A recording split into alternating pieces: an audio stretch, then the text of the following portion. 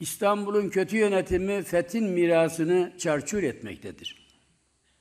Lafa gelince israftan şikayet edenlerin belediye bütçesine har vurup harman savurması, taş üstüne taş koymaktan aciz olması, yandaş gazetecileri Roma'ya sözde festival adına gerçekte ise tatile ve sefaya götürmesi ayıplı bir zihniyetin defol uygulamalarından başka bir şey değildir.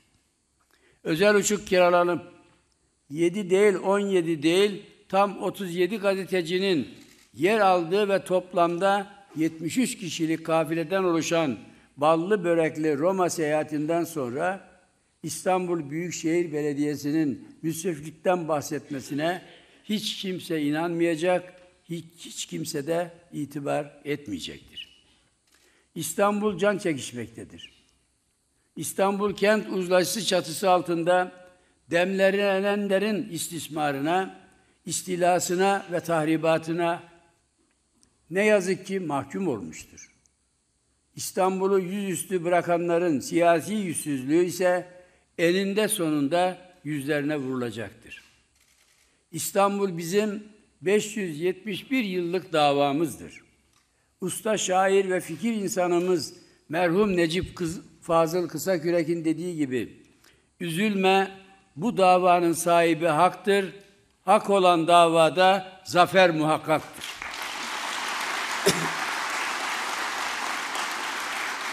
Milliyetçi Hareket Partisi'nin uzun vadeli stratejik hedefi İstanbul'un fethinin 600. yıl dönümü olan 2053'te Türkiye'nin lider ülke ve süper güç olmasıdır.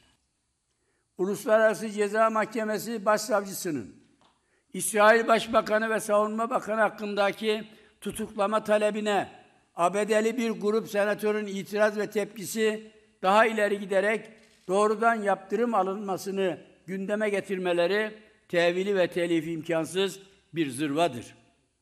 Amerika Birleşik Devletleri yönetimi şayet Sinoizmin vesayeti altında değilse, siyasetini, karar organlarını ve idare yapısını şayet İsrail'e haciz ettirmemişse, insanlık nam ve hesabına harekete geçmekle mesul olduğunu idrak etmek durumundadır.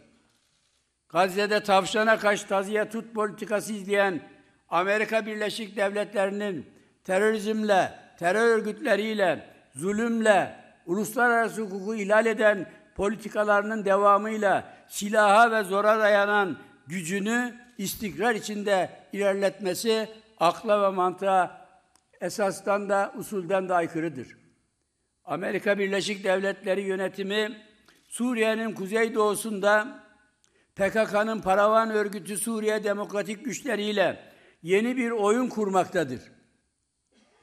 Orta Doğu'nun çalkantılı ortamından istifadeyle Tapka, Afrin, Deirezor, Rakka, Münbiç, Cezire başta olmak üzere Suriye'nin güzey doğusunu kapsayan 133 yerel yönetimin belirlenmesi amacıyla 11 Haziran'da sözde bölgesel seçimler yapılacaktır. Bu demokrasi ve yasa dışı seçim girişini demek, Türkiye'nin bölünmesinde yeni bir etap, yeni bir aşama demektir.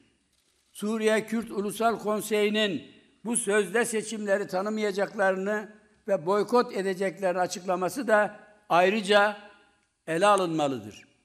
Bölücü terör örgütünün Rojava adıyla tarif edildiği ettiği Suriye'nin kuzeydoğusunda Amerika Birleşik Devletleri'nin teröristlerle kurduğu sürekli diyaloğu stratejik önemde gördüğü açıktır. 11 Haziran'da yapılacağı duyurulan sözde seçimlerin senaristi Amerika Birleşik Devletleri, figüranları teröristlerdir.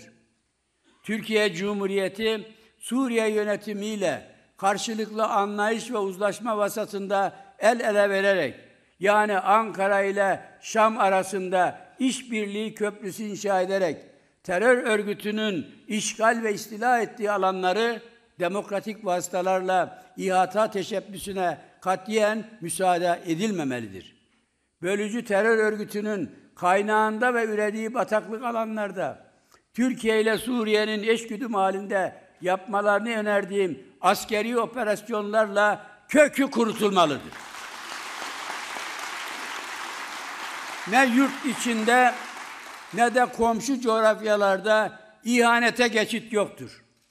Terörizmin kalbine mızrak gibi inmekten başka çaremiz yoktur. Amerika Birleşik Devletleri'nin terörizmi politik enstrüman olarak kullanması rezalettir. İkinci Dünya Savaşı'nın ardından ABD ile kurulan stratejik ortaklık ve müttefiklik bağımız bilinen bir husustur. Ancak Amerika Birleşik Devletleri'nin komşu coğrafyalarda terör örgütlerine verdiği destek Türkiye'nin güvenliğine aşırı tehdittir. Bu ülkenin terörle arasına ihlali mümkün olmayan kalın bir çizgi çekmesi lazımdır. Türkiye sömürge ülkesi ya da Amerika Birleşik Devletleri'nin 51. eyaleti değildir. Olması da mümkün değildir. NATO misyonu çerçevesinde Türkiye üzerine hangi görevler düşüyorsa bugüne kadar yerine getirmiştir. İsveç'in NATO'ya katılım protokolü Türkiye Büyük Millet Meclisi'nde onaylanmıştır. Geldiğimiz bu aşamada NATO'ya üye ülke sayısı 32'ye çıkmıştır. Amerika Birleşik Devletleri terör örgütleriyle Türkiye'yi aynı kefeye koyarak skandal ve tarihi bir yanlışa imza atmıştır. Bu yanlıştan acilen dönülmeli, uygulanan yaptırımlar kaldırılmalı, iki ülke arasındaki ilişkiler istikrarlı, hakkaniyet esaslı, eşit hak ve çıkarların gözetildiği onurlu bir veçeye kavuşmalıdır. Türkiye'nin 2021 yılı sonunda satın almak için başvurduğu 40 adet yeni blok F-16 savaş uçağının ve mevcut filolar için ihtiyaç duyduğumuz 79 modernizasyon kitinin temin süreci hızlandırılmalıdır. Ayrıca Amerika Birleşik Devletleri Afganistan'da yaptığı üzere Suriye ve Irak'tan derhal çekilmeli. Terör örgütlerini himaye eden hukuksuzluktan ve insan haklarını çiğneyen gayrimeşru, gayri ahlaki tavırdan vazgeçmelidir. Ederi bir dolarlık hayatıyla ilgili son günlerde farklı spekülasyonların yapıldığı Fethullah Gülen başta olmak üzere FETÖ'nün ABD'ye yuvalanmış tüm mensupları Türkiye'ye ve Türk adaletine teslim edilmelidir. Eğer Amerika Birleşik Devletleri özellikle PKK, YPG, PYD ile bağını koparamıyorsa bu teröristlerin alayını kendi ülkesine taşıyarak bir terör eyaleti kurması teklifimizdir. Ha 50 olmuş ya ha 51 olmuş hiç fark etmeyecektir. Bölücü teröristlerini alsınlar, ihanetin sefasını sürdürsünler, tepe tepe kullansınlar, toprak verip sabah akşam besleyip pışpışlasınlar. Sonra da kendi arkalarından vurulacakları şiddet ve şekavet dolu günleri beklemeye koyulsunlar. Her meselenin başına iliştirilip milli haklarımızdan, milli varlığımızdan, milli kimliğimizden, egemen çıkarlarımızdan, Türk ve Türkiye yüzüyle hedeflerimizden ödün isteniliyorsa hiç kimse boşuna çabalamasın. Bizim böylesi uçuk, kaçık ve garabet yumuşamaya karnımız tok, yüzümüzde dönüktür. Normalleşmesi, milli ve ahlaki normlara uyması gereken muhalefet partileridir. Acemin Albant gibi kah nalına, kah mığına vuran Özgür Bey'in bu gerçeği anlaması samimi dileğimdir. Acıkan yanağından, susayan dudağından, yumuşayan durgunluğundan belli olur. Özgür Bey'in durgun olup olmadığını bilmiyorum ama yumuşama için önce demden korkusuyla yüzleşmesini, Türk milleti ve Türkiye ortak paydasında adam gibi duruş göstermesini kendisine tavsiye ediyorum. Saçma sapan sorularla, apuk supuk iddialarla, seviyesiz ve ölçüsüz ifadelerle bizim geri adım atacağımızı falan düşünüyorsa yanıldığını, yanlışa kapıldığını, çürük tahtaya küflü çivi çakmakla meşgul olduğunu bir gün mutlaka anlayacaktır. terörist Demirtaş'ı savunanların bize normalleşme cakası satması, 6-8 Ekim ihanetini aklamaya çalışanların yumuşama masalı anlatması, kümese girip tavuk haklarını savunacağım diyen tilki kadar inandırıcı ve kayda değerdir. Normalleşme ve yumuşamayı bilhassa Cumhur İttifakı'nın süngü düşürüp mücadelesine sünger çekmesi temelinde planlayanlar bir an olsun unutmasınlar ki ak koyunun kara kuzusu da olur, akıllı bildiğin söylemez, ahmak söylediğini bilemez. Bin bilsek de söyledi, söyleyeceğimiz birdir. Buna karşılık kimin ne söylediğini, hangi maksatla söylediğini, stratejik, taktik ve psikolojik üstünlüğü elde etmek için kılıktan kılığa nasıl girebildiğini tefrik ve tefsir edecek tecrübeye Allah'a çok şükür ki sahibiz.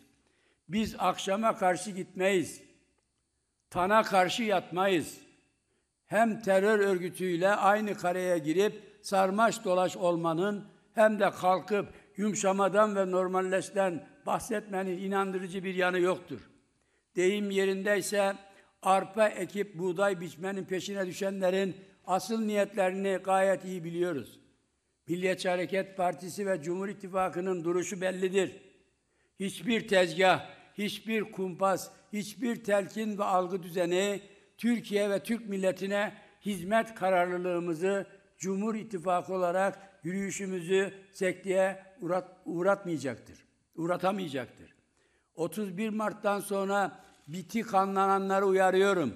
Dikkat etsinler. Bitli baklanın bizim pazarda alıcısı yoktur.